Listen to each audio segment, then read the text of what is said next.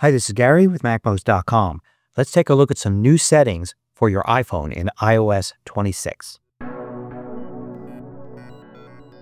Now, once you've upgraded your iPhone to iOS 26, there are some new settings you might want to check out.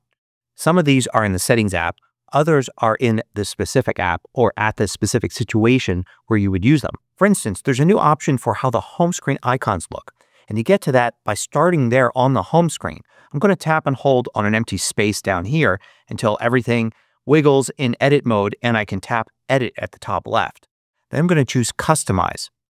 Now, like before, we have default and dark modes here for the icons. And there's a tint mode where you can choose a color and have all the icons tinted that color. But now we also have another option, clear. So let's select that and this is what the icons look like there. And they'll just be clear and you'll see some of your background through the icons. So this probably works best if you're using one of your own photos as a wallpaper. Now that just changes how your iPhone looks, but these next two functions, they really will change how it works and probably help you out. If you go into settings and then go down to the bottom, you'll find apps. So go into there and then go to the phone app. And there's a new option here for screening calls. You see screen unknown callers. The default is never, so it just is turned off. But you also have the option to silence unknown callers, so you just don't hear them. And you could have done that before. There was an option for silencing unknown callers. But a new option here is to ask for the reason for calling. So you won't hear a ring. Instead, the other person will get an automated message that asks for their name and why they're calling. And once they provided that, then it will ring and show you that information on your screen so you can decide whether or not to answer the call. If you find these videos valuable, consider joining the more than 2,000 others that support MacMost through Patreon. You get exclusive content, course discounts, and more. You can read about it at macmost.com slash Patreon.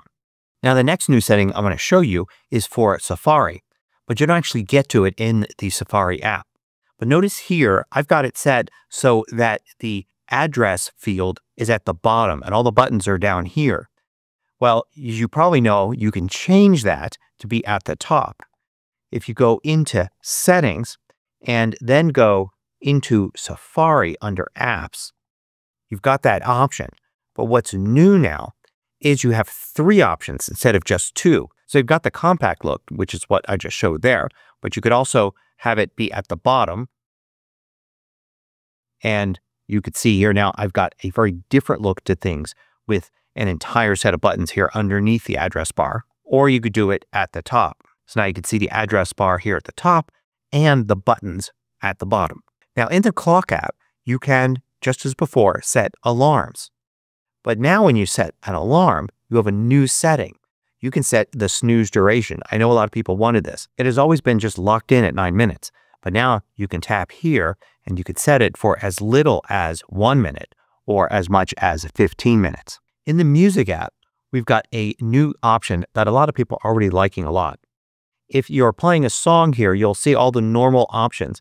A new one you'll see is this one right here. Two circles like this. If you turn it on, you've turned on auto mix. What auto mix does is it fades one song into another, but it does more than just fading. It also attempts to match the beats per minute of each song, kind of like what a DJ would do when going from one song to another.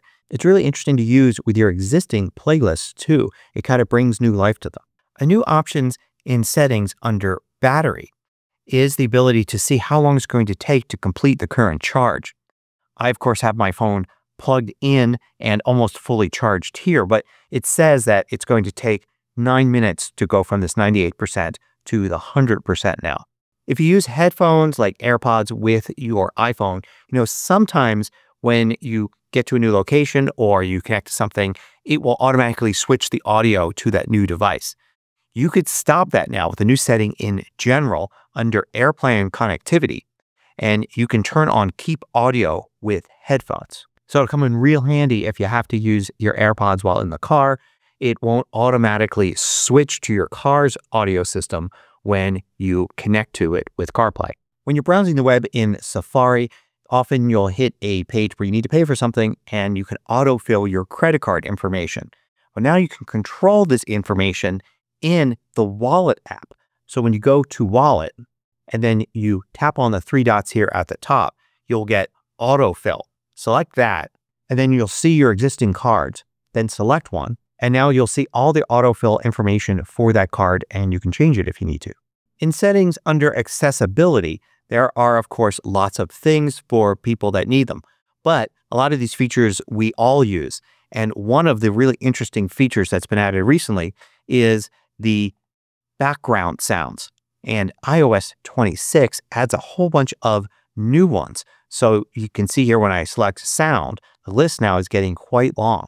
We've got Babble, Stream, Airplane, Boat, Bus, Train, and a few others. This next setting you'll find in podcast, and it's really kind of hidden. When you're listening to a podcast, you can tap here to change the speed, but there's also now a button for enhanced dialogue.